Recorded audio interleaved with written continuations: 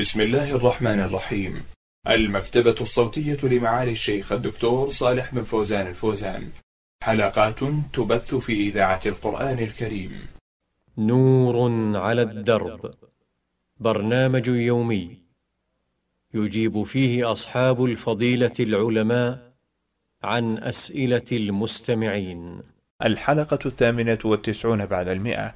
بسم الله الرحمن الرحيم الحمد لله رب العالمين والصلاة والسلام على قائد الغر المحجلين نبينا محمد وعلى آله وصحبه أجمعين مرحبا بكم أيها الإخوة والأخوات في لقاء متجدد في برنامج نور على الدرب وضيف هذا اللقاء هو فضيلة الشيخ صالح بن فوزان الفوزان عضو هيئة كبار العلماء وعضو اللجنة الدائمة للإفتاء مع مطلع هذا اللقاء نرحب بفضيلة الشيخ فأهلا ومرحبا فضيلة الشيخ حياكم الله وبارك فيك فضيلة الشيخ هذا السائل يقول ما حكم الدعاء بصوت عال للميت والناس يؤمنون خلفه في حال الدفن؟ بسم الله الرحمن الرحيم. الحمد لله رب العالمين. الصلاة والسلام على نبينا محمد وعلى آله وأصحابه أجمعين. لا مانع من الدعاء للميت من حين تخرج روحه وقبل الدفن وبعد الدفن وبعد ذلك ولو طال الوقت دائما يدعى للميت. إذا كان مسلما ولكن لا يرفع الصوت عند القبر ولا يدعو واحد والبقية يؤمنون هذا لم يرد به دليل وإنما كل يدعو له بنفسه ولا يرفع صوته بذلك.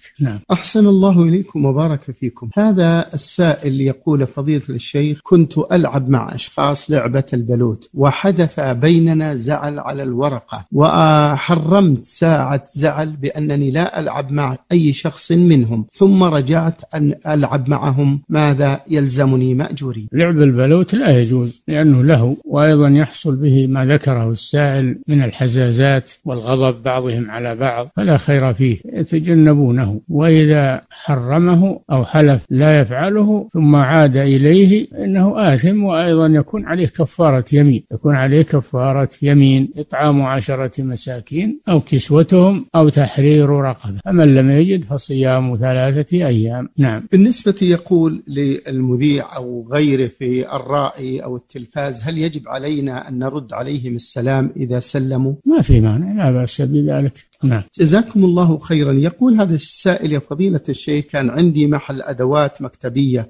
يقول وقبل حلول الزكاة بثلاثة أشهر بعت ذلك على شخص آخر. فمن الذي يدفع الزكاة؟ هل تجب الزكاة علي أم على الشاري؟ يا سبحان الله. كل يدفع زكاة ماله. أنت عندك الدراهم التي بعت, بعت بها فتزكيها وهو عنده المواد إذا كان يريدها للبيع أيضا يزكيها. يعني قومها بما تساوي عند تمام الحول على رأس المال ويزكيها فكل يزكي ملكه. نعم. يقول هل تجب الطهارة من الحدث الأصغر بالنسبة للطواف وما صحة الحديث الوارد في ذلك؟ نعم تجب الطهارة للطواف مثل ما تجب للصلاة ولا يصح طواف بدون طهارة لأن النبي صلى الله عليه وسلم لم يطف لم يث لم يرد عنه أنه طاف من غير طهارة بل داوم على الطهارة. وثانيا قال صلى الله عليه وسلم طواف بالبيت صلاة إلا أنكم تتكلمون فيه. وهذا الأثر منهم من يضعفه مرفوعا إلى الرسول صلى الله عليه وسلم ويصححه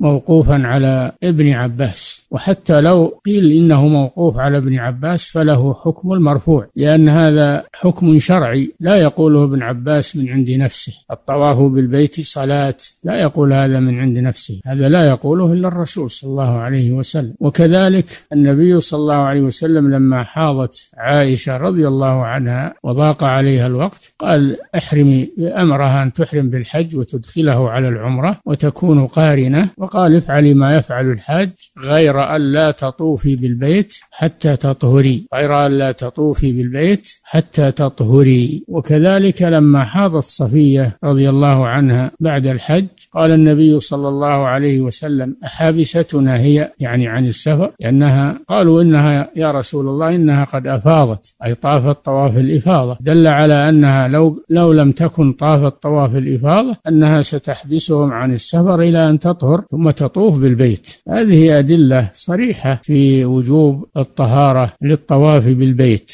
نعم.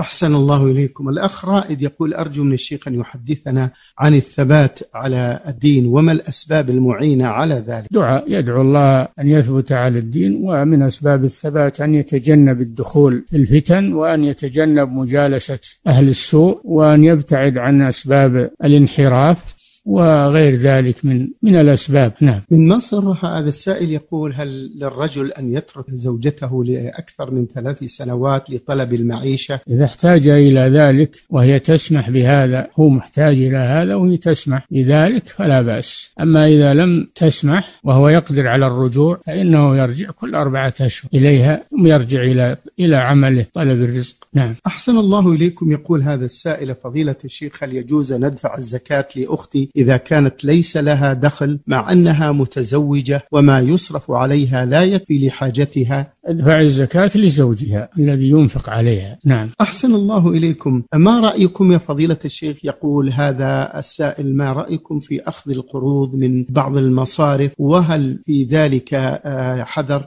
القروض التي فيها زيادة المصارف لا تقرض إلا بالزيادة فهي قروض ربوية حرام. القرض لا يكون فيه زيادة مشترطة إنما يرده بحاله من غير زيادة مشترطة وهي يسمى القرض الحسن. وأما القرض الاستثماري فهذا ربا ولا يجوز وهو ما تزاوله البنوك. نعم. جزاكم الله خيرا. فضيلة الشيخ هذا السائل يقول إذا كان للإنسان بنات هل لا بد أن يتأكد من الخاطب إذا تقدم لهن أو يتوكل على الله يتوكل على الله ويتعرف على الخاطب وعن أحواله من جهة دينه وأمانته وصلاحيته. ويسال عن هذا يسأل عنه من يصاحبونه ويسافرون معه ويعرفونه. نعم. أحسن الله إليكم. يقول هذا السائل فضيلة الشيخ قرأ بأن صلاة الجماعة ليست واجبة ما دام الإنسان يصلي ولو صلاها في البيت أو في دكانه وغير ذلك. وهذا القول غير صحيح. هذا قول خطأ. صلاة الجماعة واجبة على على المسلم الذي يسمع الأذان. قال صلى الله عليه وسلم من سمع النداء فلم يأته فلا صلاة له إلا من عذر. ولماذا بنيت المساجد ونودي للصلاة؟ وما معنى قول المؤذن حي على الصلاة؟ معناه هلموا واقبلوا للصلاة؟ وكان الرسول صلى الله عليه وسلم لم يترك صلاة الجماعة إلا لما مرض وثقل عليه الصلاة والسلام. وكان الصحابة يأتون بالكبير السن والمريض يهادى بين الرجلين حتى يقام في الصف. قال عبد الله بن مسعود ولقد رأيتنا وما يتخلف عنها إلا منافق. معلوم النفاق. من هو اللي يقول إن إن صلاة الجماعة ليست واجبة مع هذه الأدلة؟ الحجة في قول الرسول صلى الله عليه وسلم وليست بقول من خالفها. نعم. أحسن الله إليكم. أبو عبد الله يقول بالنسبة لسنة الوضوء هل تصلى في وقت النهي؟ هذه من ذوات الأسباب التي اختلف فيها العلماء. فإن فعلها فلا حرج وإن تركها فلا حرج لأن أصلها سنة ليست فريضة وليست واجبة. نعم. بالنسبة لشعر المولود بأنه يوزن ويتصدق بقدر وزن شعره هل هذا وارد يا شيخ؟ هذا قيل لكنه لم يثبت به دليل لم يثبت به دليل. نعم. يقول السائل بالنسبة للاستخارة هل هي في الأمور الأمور البسيطة والصغيرة كشراء الأجهزة الكهربائية وغير ذلك أم في الأمور الشرعية؟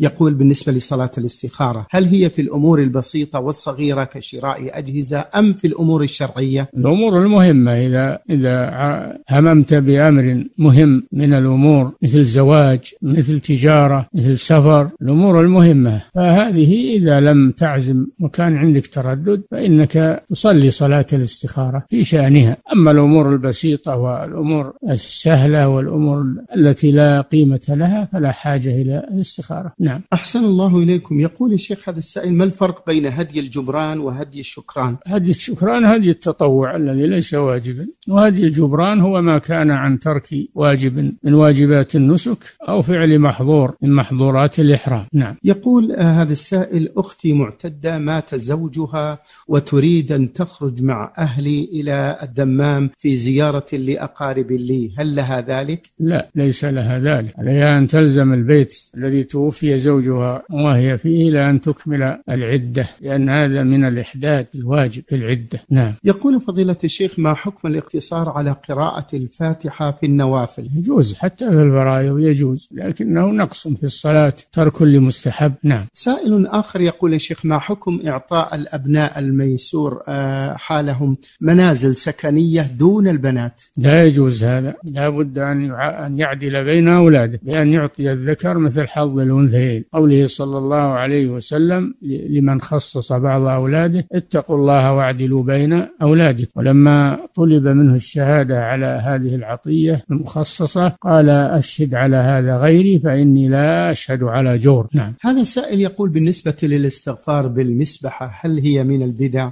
إذا كان يتخذها يعتقد أن فيها ثوابا وأجرا فهي بدعة. أما إذا كان يتخذها على أن من الأمور العادية مثل الحصى مثل الخرز مثل التي يحصي بها التسبيحات دون أن يعتقد أن فيها أجرا وثوابا فلا مانع. نعم. فضيلة الشيخ تقول الأخت نزل على ثياب بول طفل لم يأكل الطعام فصليت به لجهلي عدة صلوات فما الحكم؟ إذا كنت جاهلة أو ناسية فصلاتك صحيحة والحمد لله. نعم. أحسن الله إليكم. يقول هل الوداع بعد العمرة لازم؟ ليس للعمرة وداع واجب. أن هذا لم يرد ولم يأمر النبي صلى الله عليه وسلم المعتمرين بطواف الوداع إنما أمر به الحجاج. نعم. هذا سائل يا شيخ يقول هل يجب علي الزكاة في مزرعتي التي لم تكفيني صرفي عليها طوال العام؟ الحبوب والثمار تزكى. إذا بدا صلاحها تجب فيها الزكاة لأنها من الأموال الظاهرة. نعم. أحسن الله إليكم. يقول هذا السائل ما حكم وضع الغراء على القرآن المتمزق؟ وماذا علينا إذا كانت الأوراق ممزقة؟ وضع الغراء على الأوراق المصحف لإصلاحها إذا كانت ممزقة لا بأس بذلك. نعم. أحسن الله إليكم وبارك فيكم. آه هذا سائل فضيلة الشيخ يقول آه والدي سريع الغضب ويصدر منه بعض العبارات الخارجة عن إرادته فبماذا توجهون مثل هذا مأجورين؟ نوجهه بأن لا يغضب. كما أمر النبي صلى الله عليه وسلم الرجل الذي سأله قال لا تغضب. كرر عليه قال لا تغضب. عليه أن يعالج الغضب بالاستعاذة من الشيطان الرجيم عدم التسرع في ذلك. نعم. يقول فضيلة الشيخ ما حكم استعمال التقويم للأسنان في حالة تفرق الأس- الأسنان أو شد اللثة؟ لا بأس بذلك. هذا من العلاج المباح. إذا احتاج إلى تقويم أسنانه أو ربطها أو علاج اللثة فلا بأس بذلك. تداوي مباح. نعم. أحسن الله إليكم. يقول والدي متوفى وأقوم بالحج عنه وأحاول أن يكون من يحج عنه حج الفريضة علما بأن والدي قد حج. هل يعتبر هذا من الأعمال الصالحات؟ هذا من الأعمال الصالحة لكنه ليس حج فريضة لأن الوالد تقول إنه حج يعني أدى الفريضة فيكون هذا الحج تطوعا أجره له. نعم. أحسن الله إليكم وبارك فيكم. يسأل فضيلة الشيخ عن صلاة الرغائب. آه، هل ورد فيها شيء؟ لم يصح فيها شيء. فهي بدعة. صلاة الرغائب بدعة لأنه لم يثبت فيها دليل. نعم. بالنسبة يقول للاختصار على خطبة واحدة في صلاة العيد ما حكمه؟ مأجورين. خلاف السنة. السنة أن يخطب أن يخطب خطبتين في صلاة العيد وإذا اقتصر على واحدة فقد خالف السنة. نعم. يقول بالنسبة لاستعمال الفازلين هل يمنع وصول الماء إلى البشرة إذا استعمل على اليدين أو على الرجلين؟ أبدا لا يمنع. سائر الأدهان التي ليس لها تجمد على الجلد لا تمنع صحة الوضوء لأن الماء يجري على الجلد ولا يمنعه دهون الفازلين أو غيره. نعم. الأخت السائلة تقول عندنا دار وفيها مقصف آه للأكل. هل آه هذا المقصف فيه زكاة؟ مقصف للبيع. للبيع نعم. البيع يزكون الدراهم التي يحصلون عليها التي يحصلون عليها من هذا المقصف تبلغ النصاب يحول عليها الحول تجب فيها الزكاة. نعم. أحسن الله إليكم. هل ورد شيء من صيام شعبان؟ وما حكم تخصيص الخامس عشر من شهر شعبان لصيامه في كل سنة؟ نعم كان النبي صلى الله عليه وسلم يصوم من شعبان ويصوم أكثره فالسنة أن يصام من شعبان ويكثر من الصيام فيه. نعم. فضيلة الشيخ هذا السائل يقول ما هو الحكم الشرعي في قول قولي لزوجتي بأنت طالق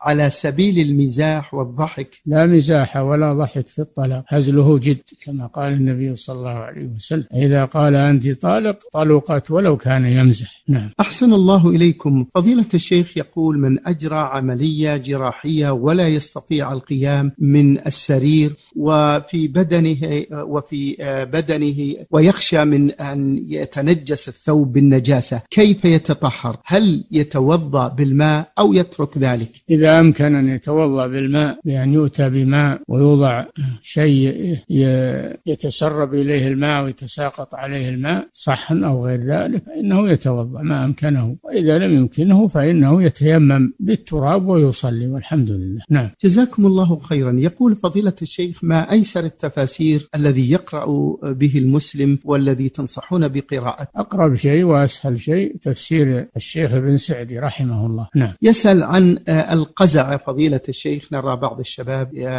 يعملون هذا فما الحكم في الشريعة؟ هذا منهي عنه وهو حلق بعض الرأس وترك بعضه أو فيه تشبه بالنصارى. قال صلى الله عليه وسلم في شعر الرأس احلقه كله أو دعه كله. نعم. يقول هذا السائل يا شيخ هل علي ذنب إذا لم أغتسل بعد الجماع في الليل وتركت ذلك حتى وقت صلاة الفجر؟ لا بأس بذلك لكن السنة والأفضل أن تغتسل قبل النوم. هذا هو الأفضل. نعم. أحسن الله إليكم. سائل آخر كتب عن زواج المسيار ما رأيكم فيه وفي الشريعة الإسلامية؟ لا ننصح به لأنه لا تترتب عليه مصالح الزواج الشرعي وإنما هو مجرد قضاء شهوة ولا يكون له سيطرة على زوجته ولا تسكن معه في بيته ولا إذا حصل أولاد يكون يكونون بعيدين عنه وعن رقابته فلا يحصل فلا تحصل به مقاصد الزواج.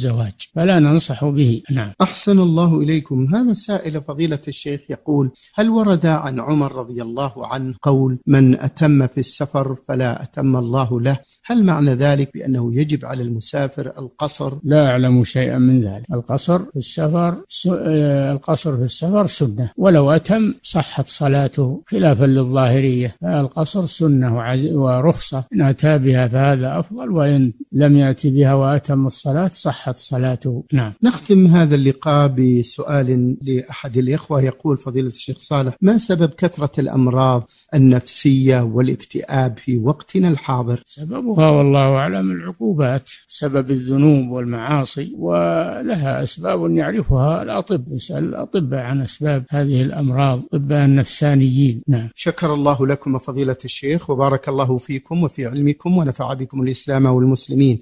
انتهى هذا اللقاء والذي سجل مع فضيلة الشيخ صالح بن فوزان.